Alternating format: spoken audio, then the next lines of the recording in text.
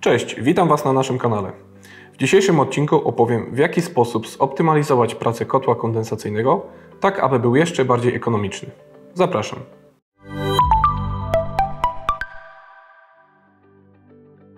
Aby zagwarantować sobie komfort użytkowania urządzenia, warto jest zainwestować w regulator temperatury pomieszczeń.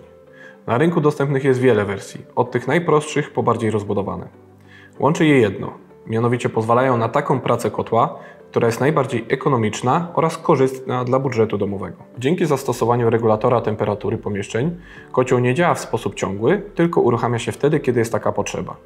Oznacza to, że w przypadku, kiedy temperatura w pomieszczeniu spadnie poniżej wartości przez nas oczekiwanej, czyli poniżej wartości ustawionej na regulatorze, regulator daje do kotła sygnał grzej, co uruchamia ogrzewanie. Po osiągnięciu zadanej temperatury kocioł przestaje pracować. Przed zakupem regulatora należy przemyśleć dwie rzeczy. Po pierwsze, jakie funkcje powinien pełnić nasz regulator? Czy ma to być proste urządzenie, czy bardziej zaawansowane, np. umożliwiające sterowanie przez internet? Po drugie, czy mamy możliwość ukrycia kabli w ścianach, tak żeby zastosować regulator przewodowy, czy będzie to stanowiło dla nas problem? W takim wypadku warto zainteresować się regulatorem bezprzewodowym. Regulatory temperatury pomieszczeń możemy podzielić na kilka grup. Proste regulatory z komunikacją on-off, np. Termet ST292V2 lub Termet ST292V3. Regulatory Termet ST292V2 i V3 umożliwiają proste i efektywne sterowanie temperaturą w pomieszczeniu. Posiadają wielofunkcyjny wyświetlacz LCD pokazujący aktualną datę, godzinę, temperaturę w pomieszczeniu oraz realizowany program działania.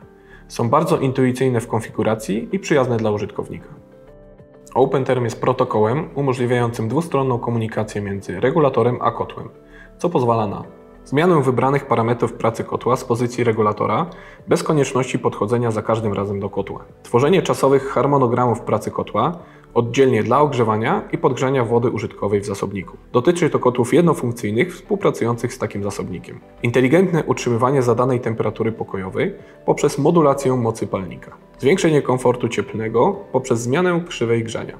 Wyświetlanie informacji o ewentualnych stanach awaryjnych kotła. Regulatory umożliwiające sterowanie przez internet, np. Termet ST2801 Wi-Fi lub system Termet Comfort. Przypadku regulatora ST2801 Wi-Fi zaletą jest kolorowy oraz czytelny dotykowy wyświetlacz. Pozwala on na bardzo wygodną obsługę urządzenia i łatwą konfigurację jego parametrów. Jeżeli chodzi o system Termet Comfort, umożliwia on szybki dostęp do ważnych informacji, pozwala na wprowadzanie zmian i dostosowywanie ustawień do naszych aktualnych potrzeb za pomocą wygodnej i łatwej w obsłudze aplikacji.